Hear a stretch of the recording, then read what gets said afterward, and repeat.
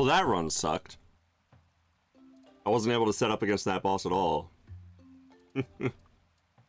I truly made some kind of monster setup here.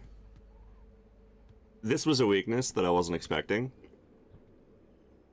I'm amazed that I actually got through Mini Mina that quick, but again, Big Bertha screws me over.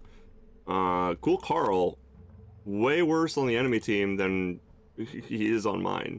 I mean, he's as bad on the enemy team as he is bad when I'm trying to use him.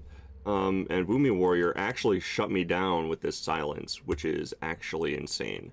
Um, I don't even know what this is about, the, the funny squid. But, alright, I'm gonna play some more of this offline.